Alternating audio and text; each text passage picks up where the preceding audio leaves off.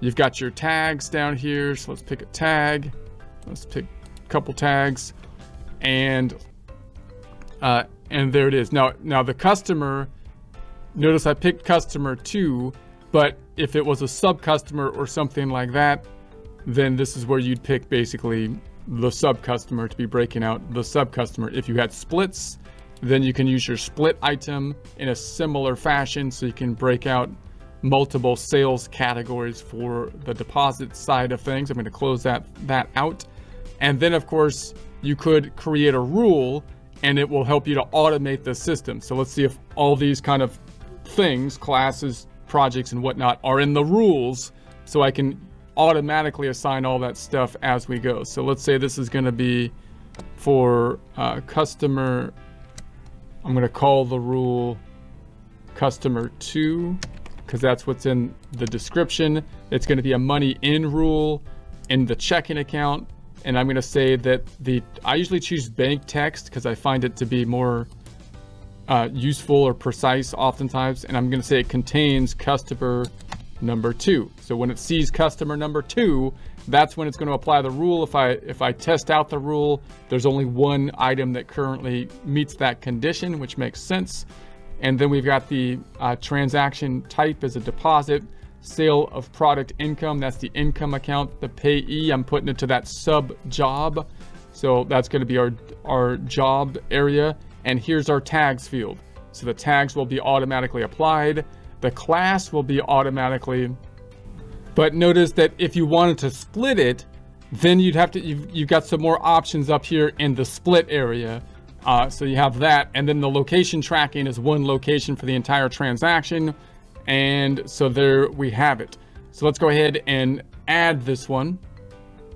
And so now if I go back on over to my reports on the balance sheet, let's run it. And let's just look at it by total over here. So if I run the balance sheet and I go into my checking account and drill down on the checking account, we added this one, customer number two. Let's scroll up and let's just take a look at the profit and loss this time. And so if I run my profit and loss and run it, then once again, I can break this out by the, the various the various tools we've been working with, which are the classes. So now it's breaking out by class on the income side of things. And then we're to go to the location and it broke out by income on the location. And then you've got your customers, which breaks out the jobs and sub customers. And then again with the tags, uh, normally I would run the report from the tags area might be the best way to do it. And then you can basically do your uh, filtering by your tags over here. And so we can run by the tags. All right, let's go back to the first tab again, and let's add another uh, another vendor.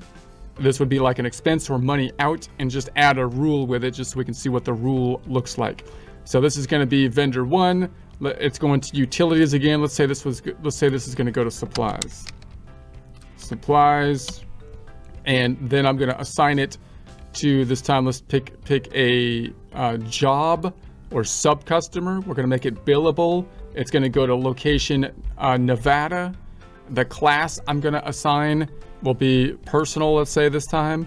Tags, let's pick a couple tags that we can assign out and boom. And there we have it. So I'm not going to split it this time, but instead just go to create the rule. I want a rule. There's got to be rules here. There's got to be some rules. Can't have anarchy. Crying out loud. It's a money out. So we're going to say description. I'll pick the bank text again. Contains vendor one. If I test it, then it's picking up two transactions. It's going to pick up with this rule. Okay. Expenses, it's going to go to the supplies account, the payee, the customer. This is where we're choosing the sub customer this time. That's where you pick the sub customer or job. So I can run the sales report by sub customer or job. It's picking up the tags. It's picking up the class, but it's applying the class to the full transaction. If I wanted more detail, I can go to the splits. And then I've got my location, Nevada, and then uh, that looks good. So let's notice it's auto adding too, so it's going to add them automatically. If I turn that off, by the way, and I save this, then it first gives me another little check before it adds it, which is kind of neat or good when you first start out. But I'll, but then you're going to probably auto add them because it's super fast to do it that way. And then your rules are being created over here. Boom. Rules. You can adjust your rules if you so choose. If I pull that into my balance sheet, it's just so cool. I don't know how, there's no other word to describe it. Anyways, so those pulled in. And then I'm gonna go on the expense side and exit this profit and loss, run it. We can see it by all the various stuff, locations, for example, por ejemplo. Uh, we had locations for the supplies, and then we had the class tracking, class tracking for uh, the supplies. We had then breaking it out by customers. So we had by location or or the uh, uh, job, and then of course you can do it by tags again. So if I go back to the tab to the left, one more one more thing is that you can obviously you can think about the rules and then add the splits. So let's do one more money out, which is more likely where you're going to add, you know, the splits to have multiple classes, for example. Vendor, let's say this time vendor three is going to go to, do I have any other? I have a miscellaneous expense. Vendor three is very mysterious. we put them into miscellaneous. This is going to be project, project uh, two or one, let's say, billable, location, let's just choose this location. Let's say this is business two or whatever.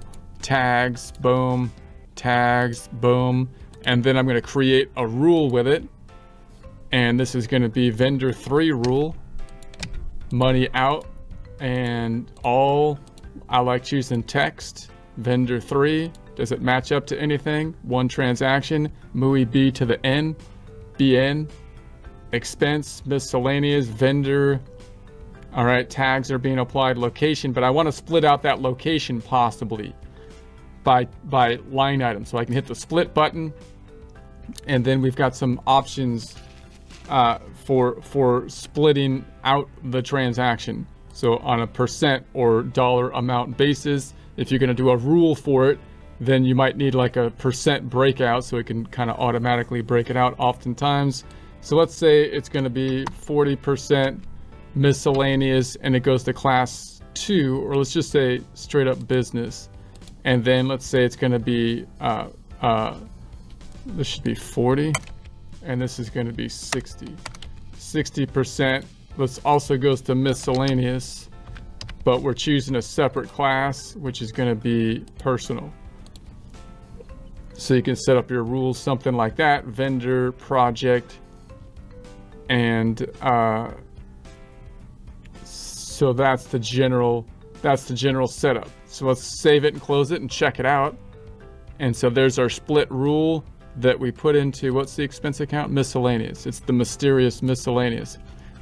Profit and loss, run it, and uh, we're gonna check it out by class, boom.